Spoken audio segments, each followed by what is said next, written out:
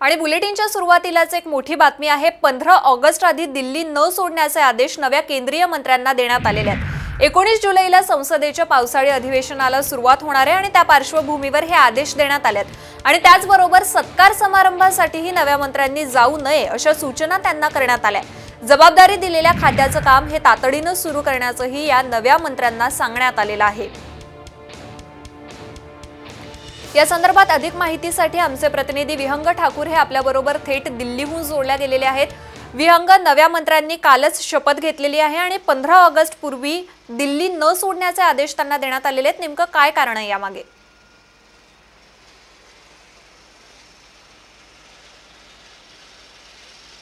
पंतप्रधान नरेंद्र मोदी यांनी मंत्र्यांनी शपथ घेण्याच्या आधीच त्यांना या सूचना दिल्या होत्या. ज्यावेळेस त्यांना भेटीसाठी जे आहे ते पंतप्रधानांच्या निवासस्थानी बोलावण्यात आलं होतं. त्यावेळेस पंतप्रधानांनी त्यांना सांगितलं होतं की तुम्हाला कोणती खाती मिळतील कोणतं मंत्रा मंत्रालय असेल. पण त्याचवेळी महत्त्वाची सूचना जी केली होती की पंधरा ऑगस्टपर्यंत तुम्हाला दिल्ली सोडता येणार नाही. अशा सूचना ज्या ज्या आहेत त्या नव्या मंत्र्यांना दिल्या होत्या. आणि त्याच पार्श्वभूमीवर जे आहे ते मंत्री पंधरा ऑगस्टपर्यंत दिल्लीच्या बाहेर जाणार नाही आहेत आणि यामागचं सगळ्यात महत्त्वाचं कारण म्हणजे एकोणीस जुलैपासून संसदेचं अधिवेशन सुरू होतं आहे. या अधिवेशन काळामध्ये फक्त दहा दिवसांचा एक कालावधी मिळतोय कामकाज समजून घेण्यासाठी मंत्रालयाचं. त्यामुळे दिल्ली बाहेर जाऊ नये अशा सूचना ज्या आहेत त्या देण्यात आलेल्या आहेत. आणखीन एक महत्त्वाची बाब म्हणजे तीन महिन्याच्या आत जे आहे तो कामकाज समजून घ्या आणि तीन महिन्यामध्ये हे मंत्रालयावर आपली पकड जी आहे ती मजबूत करा अशा सूचनासुद्धा देण्यात आलेल्या आहेत.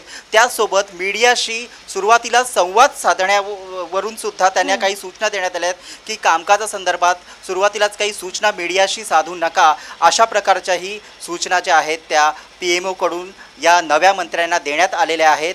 त्यासोबत सगळ्यात महत्त्वाचं म्हणजे आरोग्य खात्याचा विषय आहे. आरोग्य खातं हे ॲक्शन मोडमध्ये अगदी पहिल्या दिवसापासून आलेलं आहे. आपण पाहिलं असेल की सूक्ष्म आणि लघु उद्योग खात्याचा कारभार आहे तो नारायण राणे यांनी सांभाळला त्यांनी संवाद साधला अधिकाऱ्यांशी. पण त्याच्यानंतर ते थेट आपल्या घ निवासस्थानी गेले. पण त्याचवेळी आरोग्य खात्याचे मंत्री मनसुख मांडविया यांनी सकाळपासून जे आहे ते हेल्थ मिनिस्ट्रीचं जे आहे त्या अधिकाऱ्यांशी संवाद साधणं सुरू केलेलं आहे. त्याचसोबत केंद्रीय राज्यमंत्री जे आहेत आपल्या राज्यातील आहेत भारती पवार यासुद्धा कॅबिनेट मंत्र्यांसोबत बैठकांचं सत्र घेत आहेत. त्यामुळे आपल्याला एक गोष्ट लक्षात येते की कोविडच्या पार्श्वभूमीवर आरोग्य मंत्रालय जे आहे ते सगळ्यात जास्त अधिक ॲक्शन मोडमध्ये आपल्याला दिसतंय. कारण नरेंद्र मोदींचं सर्वाधिक लक्ष हे आता आरोग्य खात्याकडे आहे. नक्कीच विहंग सर्वाधिक लक्ष हे आरोग्य खात्याकडे असल्याचं पाहायला मिळत आहे धन्यवाद आपण दिलेल्या या सविस्तर माहितीसाठी.